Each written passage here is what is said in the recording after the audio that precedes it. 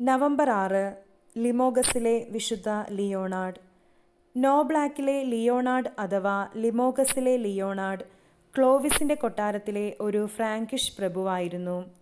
റെയിംസിലെ മെത്രാനായിരുന്ന വിശുദ്ധ റെമേജിയൂസിനാൽ അവിടുത്തെ രാജാവിനോടൊപ്പം വിശുദ്ധ ലിയോണാർഡും ക്രിസ്തുമതത്തിലേക്ക് പരിവർത്തനം ചെയ്യപ്പെട്ടു. വിശുദ്ധൻ അനേകം തടവുപുള്ളികളുടെ മോചനം സാധ്യമാക്കി. പിന്നീട് മാനസാന്തരപ്പെട്ട ഇവർ തങ്ങളുടെ മാധ്യസ്ഥ വിശുദ്ധനായിട്ടാണ് ഇദ്ദേഹത്തെ കരുതിപ്പോന്നത്. മെത്രാൻ വാഗ്ദാനം നിരസിച്ച ഇദ്ദേഹം മെസ്മിൻ ലീ എന്നീ വിശുദ്ധരുടെ ഉപദേശപ്രകാരം ഓർലീൻസിലെ മിസ്സി എന്ന ആശ്രമത്തിൽ ചേർന്നു. അതിനുശേഷം ഐതിഹ്യമനുസരിച്ച് ലിമോസിൻ വനത്തിൽ ഏകാന്ത ജീവിതം നയിക്കുകയും അവിടെ കുറെ അനുയായികളെ നേടുകയും ചെയ്തു.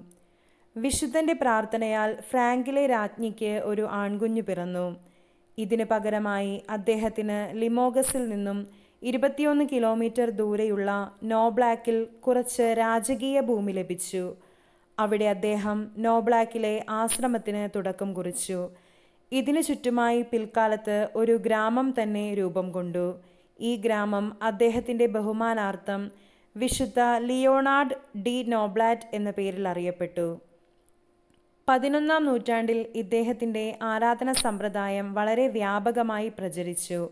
ആയിരത്തി ഒരുന്നൂറ്റി മൂന്നിൽ ആദ്യ കുരിശുയുദ്ധത്തിലെ പ്രമുഖ നേതാവായ ആന്റിയോജിനിലെ ബോഹേമോണ്ട് ഒന്നാമൻ ഒരു ഡാനിഷ്മെന്റ് തടവറയിൽ നിന്നും വിശുദ്ധന്റെ ഇടപെടൽ നിമിത്തം മോചിതനായി.